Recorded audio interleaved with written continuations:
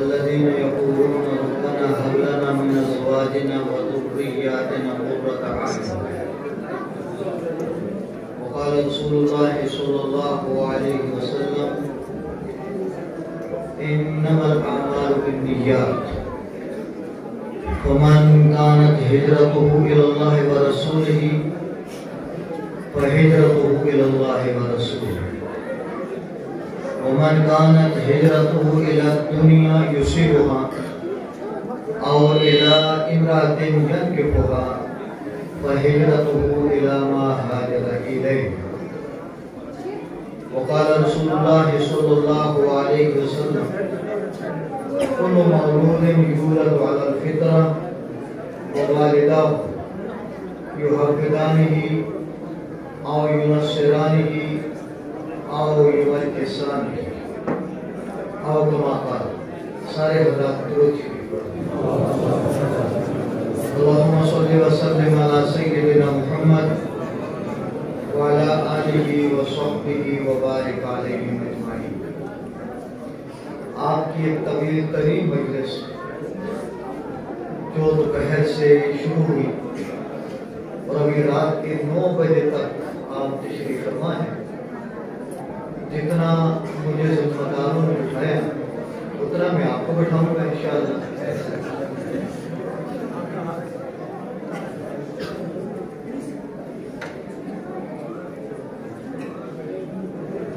गुजारिश रदी अल्लाह तहुमा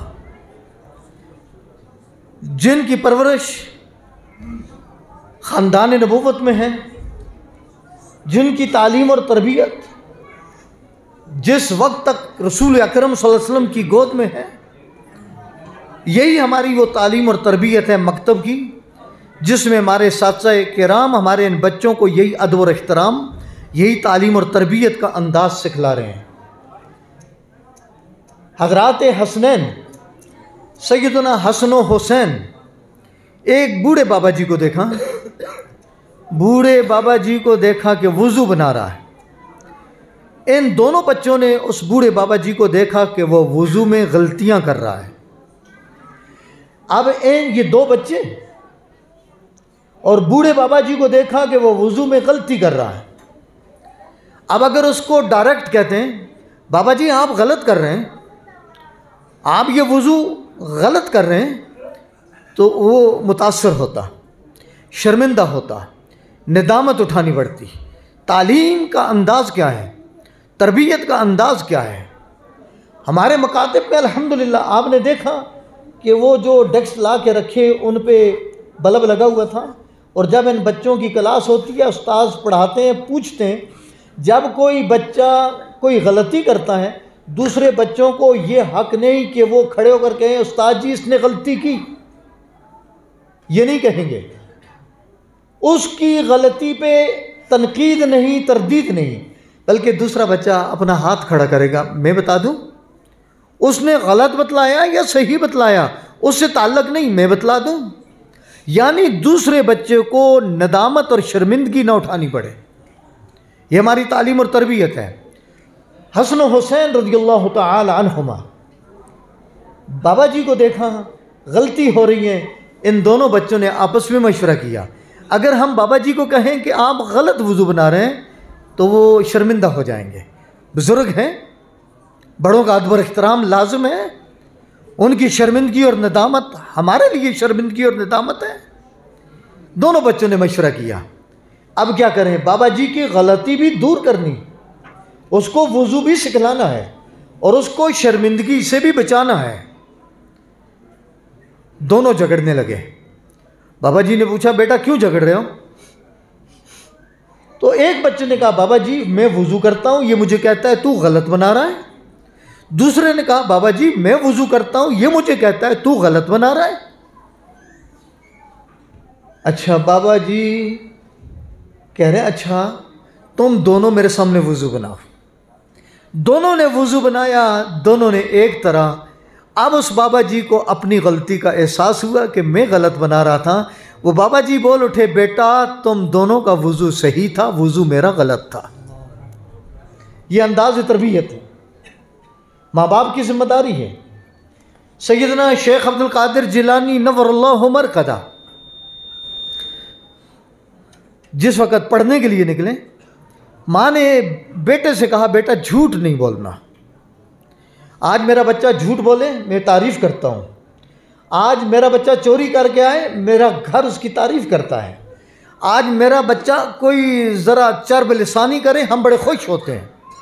माँ बाप की ज़िम्मेदारी है। माँ ने बेटे को घर से जाते नसीहत फरमा दी, बेटा झूठ नहीं बोलना। काफिला जा रहा है, डाकुओं ने पकड़ लिया है, तलाशी हो गई, लोगों से माल मता छीन लिया इस बच्चे का भी जो खर्चा था तालीमी माँ ने सी के गुदड़ी में रख दिया। डाकुओं ने तलाशी ली, मिला नहीं। तो डाकू ने पूछा, बेटा, तेरे पास कुछ भी नहीं? बच्चे ने कहा, क्यों नहीं? मेरे पास है ना पैसे? कहाँ हैं? ये हैं। निकाल के दिखा दिए। डाकू हैरान। डाकू ने उस बच्चे से पूछा, बेटा इस मौके पे सारे लोग डाकुओं से अपना सामान छुपाते हैं, माल छुपाते हैं और तूने सच बता दिया कि मेरे पास है, तूने छुपाया नहीं, क्यों? शेख अब्दुल कादिर जेलानी नवर मरकदा जो उस वक़्त बच्चे हैं, आपने फरमाया, मुझे मेरी माँ ने नसीहत फरमाई थी, बेटा झूठ नहीं बोलना। बेटा झूठ नहीं बोलना। अल्लाह अकबर। डाकू रोने लग गया। हम हैं कि अल्लाह के अहकाम की बगावत करते, लोगों के माल छीनते छीनते, लोगों के माल पे डाके डालते। मासूम सा बच्चा है, माँ की बात मानता है। सच बोला इसने? वो पकड़ के सरदार के पास ले गया। सरदार ने पूछा, बेटा, आपने क्यों सच बोला? मुझे मेरी माँ ने नसीहत फरमाई। मुझे मेरी माँ ने नसीहत फरमाई। डाकुओं का सरदार रोने लगा और उस वक़्त रोते रोते कहने लगा, अल्लाह, हमें मुआफ़ कर देना। तूने हमें हुक्म दिया, हमने तोड़ा और इस बच्चे को माँ ने हुक्म दिया और माँ ने पूरा किया। सारे डाकुओं ने तोबा करी और अल्लाह ने उनकी वो ज़िंदगी बदली कि अल्लाह ने उनको भी वक्त का वली कामिल बना दिया। ये एक बच्चे की तरबियत थी। और समझाने का कोई अंदाज। लिखा है, अकबर इलाहाबादी, हमारे बर सग़ीर के बहुत बड़े शायर गुज़रे हैं। आलिम नहीं थे। शायर गुज़रे हैं और जज गुज़रे हैं। जज थे ब्रिटिश गवर्नमेंट के, लेकिन दीनदार थे, गैरतमंद थे। उनका एक बेटा था। बेटे ने अपने अब्बा जी से एक दिन सवाल किया, अब्बा, मुझे वो बाल ला कर दें, गेंद ला कर दें बाज़ार से। और उस गेंद पर घोड़े की तस्वीर बनी हुई हो। बच्चे तकाजा करते हैं। हमारे बच्चे भी तकाजा करते हैं। हमने अपने बच्चे के किस किस तकाजे को पूरा करना है और किस किस को नहीं और किस अंदाज में पूरा करना है? ये वालदेन की ज़िम्मेदारी है। वालदेन की ज़िम्मेदारी क्या है? हमने अपने बच्चों को दुरुस्त रास्ते पे ढालने की फ़िक्र करनी है। घर से लेकर इस दर्शगाह तक। बच्चे ने अपने अब्बा से मुतालबा किया। मुझे गेंद ला कर दें। और उस गेंद पे घोड़े की तस्वीर बनी हुई हो। बच्चे तकाजा करते हैं माँ बाप पूरा करने की कोशिश करते हैं। अकबर इलाहाबादी बाज़ारों में घूमा घूमा घूमा, वो बाल नहीं मिला, वो गेंद नहीं मिला, जिस पे घोड़े की तस्वीर बनी हुई हो। वक्त गुजर गया। बेटा बर सग़ीर से तालीम से फारग हुआ, इंग्लैंड चला गया। इंग्लैंड से पढ़ के जब वो वापस आया तो किसी आला पोस्ट पे उसकी नौकरी लगी। उसने अपने उस तमाम महकमे के जितने कोलीग थे, उन सारे अफसरान की दावत करी, अपने घर बुलाया। अपने इदारे के सारे अफसरान को दावत पे घर बुलाया। उधर इत्तफाक से अकबर इलाहाबादी उस वक्त कहीं बाज़ार गए हैं, और बाज़ार में देखा कि एक गेंद बिक रहा है और उसके ऊपर घोड़े की तस्वीर बनी हुई है। आपने उस वक़्त वो गेंद ख़रीदा, जिस पे घोड़े की तस्वीर थी, वो ले आए, घर में रख दिया। उधर आपके बेटे ने अपने सारे कोलीग जितने अफसरान थे, दावत की, दावत में सारे मौजूद हैं।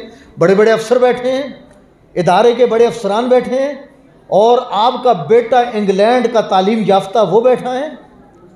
हज़रत अकबर इलाहाबादी, वो अब बूढ़ा है।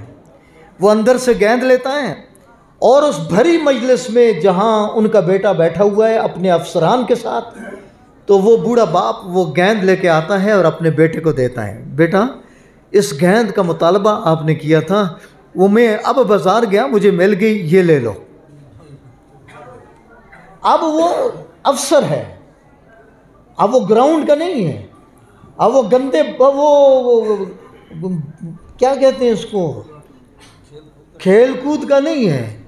बाल बल्ले का नहीं है। वो अफसर है। उसने जो गेंद देखा और घोड़े की तस्वीर, और अब्बा जी कह रहे हैं, बेटा, ये ले लो। उसको तो आया पसीना मेरे अफसरान बैठे और मेरे बूढ़े अब्बा ने मुझे अफसरान के सामने जलील कर दिया। अब वो अपनी शर्मिंदगी छुपा रहा है। बेटा, अपने आप को छुपा रहा है। और अब अफसरान से कहता है, जैसे मौलाना फरमा रहे थे आज का वो वक्त भी है कि जो बूढ़े माँ बाप को फिर लोगों के सामने इस अंदाज में पेश करते हैं। जी? ये हमारे घर के मुलाजिम हैं। हमारे चौकीदार हैं। वो बेटे ने भी अपने अफसरान के सामने अपनी शर्मिंदगी छुपाते हुए कहा, ये हैं तो मेरे अब्बा जी, बूढ़े हो गए हैं, सठिया गए हैं, दिमाग काम नहीं करता। मेरे अब्बा जी हैं। बूढ़े हो गए हैं सठिया गए हैं, दिमाग काम नहीं करता। अबा जी ने बात सुनी, अब उन सारे अफसरान के सामने अपने बेटे को मुखातब करते हुए फरमाया, बेटा, मैं बूढ़ा ज़रूर हुआ हूँ, सठियाया नहीं गया। मेरे हवास मौजूद है, मेरे हवास बाख्ता नहीं हुए बेटा, मैं अल्हम्दुलिल्लाह होश हवास हूँ। लेकिन तुझे एक मसला समझाना था हर दौर का तकाजा मुख्तलफ होता है। हर दौर का तकाजा मुख्तलफ होता है। कभी तकाजा है इस बच्चे का कि ग्राउंड में खेले और ये गेंद मांगे, और कभी तकाजा है इस बच्चे का कि इस दरसगाह मकतब में आए और कुछ सीखे। और कभी तकाजा है जवानी का, कभी तकाजा है बुढ़ापे का। बाप ने कहा, बेटा, ये ज़िंदगी के तकाजे जब मुख्तलिफ़ अदवार में मुख्तलिफ़ होते हैं तो मैदान हशर का तकाजा भी मुख्तलिफ़ होगा। मैदान हशर में मैं तुझे समझाने लगा, ज़िंदगी यूँ खेल कूद में न गुजारना। कल मैदान हशर में जाए और तेरे सामने तेरा खेल कूद आए तो कल वहाँ तुझे शर्मिंदगी उठानी पड़े। मैं उस से बचाना चाहता हूँ। अल्लाह अकबर। मेरे भाइयों, मेरे दोस्तों, मैं अपने बरदर मुकर्रम, हज़रत मौलाना आशिक साहब खराज तकसीम पेश करता हूँ। बड़े उच्च, अच्छे और उम्दा अंदाज में शुरू से लेकर अभी तक प्रोग्राम को आपके सामने उन्होंने पेश फरमाया। अल्लाह दिन दुगनी, रात चुगनी, तरक्की नसीब फरमाए। और आपसे गुजारिश करता हूँ, बच्चों को भी भेजो और आपने देखा इन बच्चों की तालीम और तरबियत। इसमें यकीनन अगर आपके वो बच्चे यहाँ आ रहे हैं तो ये जो पढ़ा रहे हैं, जो दरसगाह चल रही है, इसकी वसतों की भी ज़रूरत है। अभी तादाद कितनी ज़्यादा हो चुकी है, इस हादसा की भी ज़रूरत है, ज़रूरियात भी हैं, मेरी गुजारिश है, इनके दस्त बाजू बनो, इनके साथ मुआवनत करो। मैं ये नहीं कहता कि आपकी मुआवनत के बगैर ये इदारे नहीं चलेंगे। चलेंगे, मेरे रब का दीन है। इन्ना नहनु नजल न ज़िक्र व इन लहू हाफिजुन हिफाजत का ऐलान अल्लाह ने किया, और जिसकी हिफाजत अल्लाह करे, उसको कोई ख़त्म यूसुफ को अंधे कुएँ में डालने वालों ने डाल दिया। मेरे रब का भी ऐलान हुआ, तुम अंधे कुएँ में डालो, तुम गुलाम बना के मिस्र के बाज़ार में बेचो, तुम इसको जेल में पहुंचाओ। मैं भी रब ना हूँगा कि मैं अपने यूसुफ की हिफाजत करते, इसको तख्त शाही पे ना बिठाऊँ।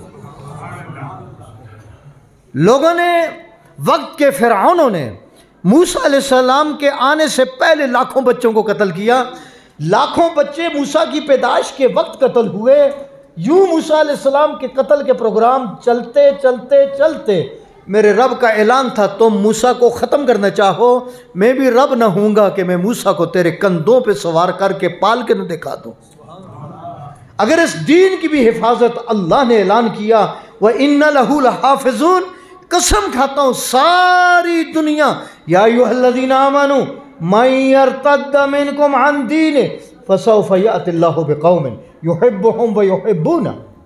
सारे फिर जाओ अपनी औलादों को उठा लो दीन से दूर चले जाओ मेरा रब कहता है मैं एक ऐसी कौम को लेके आऊँगा मैं उन्हें महबूब रखूँगा वो मुझे महबूब रखेंगे अल्लाह किसी का मुख्ताज नहीं लेकिन मुझे आप सबको इस औलाद की सूरत में माल की सूरत में जान की सूरत में, इस वक्त की सूरत में, अल्लाह कबूल फरमा ले, मेरी आपकी आखरत की शहादतों के ये मराकज़ हैं।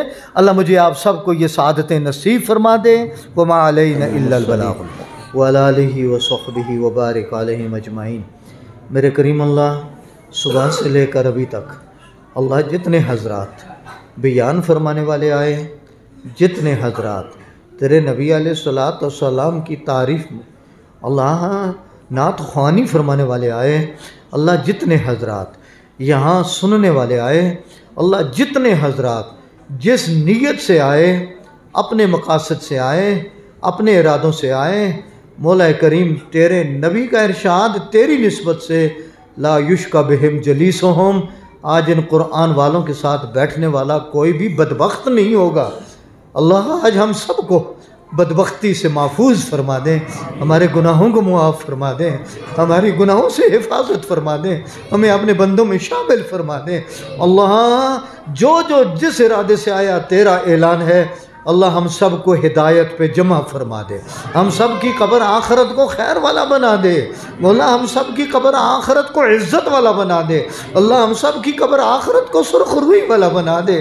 कल हमारी वजह से ना मेरा अब्बा अबू अल आदम हाँ, हाँ वो मेरा अब्बा आदम शर्मिंदा हो। ना मेरे नबी सलाम मेरी वजह से शर्मिंदा हो। अल्लाह कल मेरी वजह से अल्लाह मेरे हबीब को इज़्ज़त नसीब फरमा शर्मिंदगी और नदामत से महफूज फरमा और कल जो मुझसे पूछे मैंने दांत तड़वाए तेरे लिए ताइफ के पत्थर खाए तेरे लिए तूने मुझे मीज़ान पे शर्मिंदा किया। अल्लाह मुझे उस दिन के इस इस सवाल से, इस सवाल के जवाब से महफूज फरमा दे। मौला करीम, जिन हमारे बच्चों ने आज अपना ये तालीमी किरदार अमली सूरत में अपने वालदेन के सामने पेश किया, हाजरीन के सामने पेश किया, अल्लाह इन बच्चों की हिफाजत फरमा दे। इनको अल्लाह इस दीन की तमाम मनाजिल नसीब फरमा। मौला इस दीन की तमाम मनाजिल नसीब फरमा। इनको एक सच्चा पक्का मुसलमान बना दे। मौला करीम, ए अल्लाह, उम्मत की नस्लों की हिफाजत फरमा। आज पूरी दुनिया, आज पूरी दुनिया हमसे अल्लाह तुझे छीने। तेरे हबीब को छीने, तेरे कुरान को छीने, हमारी मसाजिद और हमारे मदारस को छीने, अल्लाह हमारे मराकज तबलीगिया को छीने। अल्लाह, मेरे करीम अल्लाह वो नादान हैं। अल्लाह तू उन्हें भी कलमा नसीब फरमा दे। अल्लाह तू उन्हें भी हिदायत नसीब फरमा दे। अल्लाह तू उन्हें भी समझ नसीब फरमा दे।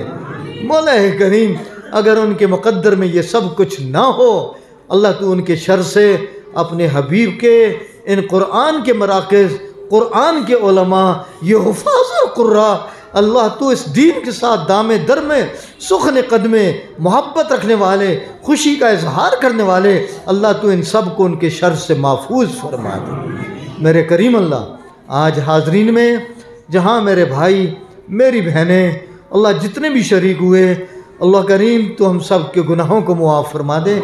जितने बीमार हैं, शिफाए कामिला नसीब फरमा दें। जितने बे औलाद हैं, औलाद सालह नसीब फरमा दें। जिनकी औलाद हैं, अल्लाह उनकी औलाद को भी कलमे वाला बना दे, आमाल वाला बना दे। मेरे करीम अल्लाह, रात गए इस वक्त तक, तेरे बंदे, तेरे दर तेरी चौखट पे बैठे हैं, इनके उठे हुए हाथों को कबूल फरमा दे। हाफिज़, अनीस है। इसके दादा फोत हुए। मगफरत की दुआओं के लिए कहा गया, अल्लाह जितने भी कलमे वाले ईमान पे चले गए मौला उन सब की मगफरत फरमा दे। अल्लाह जितने ज़िंदा हैं, इनको गुनाहों से बचा ले।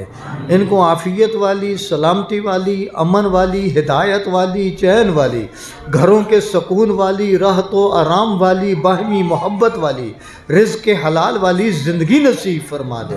तमाम शरूर से, आफात से बलियात से, आसमानी, ज़मीनी बलाओं से, करोने वरोने के चर्चों से, अल्लाह गंदे किस्म के अमराज से अल्लाह शरीरों के शर से, अल्लाह तमाम बदअीदा लोगों की बदअकीदगी से, अल्लाह कादियानियत से, राफजियत से, अल्लाह जितने भी फितने आपके इलम में हैं, अल्लाह हम सब की हिफाजत फरमा दे।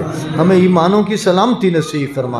मौला आने वाला जो तबलीगी जमात का इज्तम पिंड रावल रावलपिंडी इस्लामाबाद का अल्लाह उसको हिदायत के दर्जे में कबूल फरमा ले अल्लाह उसकी हिफाजत फरमा दे, आने वालों की हिफाजत फरमा दे, तमाम वबाई अमराज से महफूज फरमा दे, तमाम शरीरों के शर से, मकर से, दजल से, चाल से अल्लाह उनकी हिफाजत फरमा दे।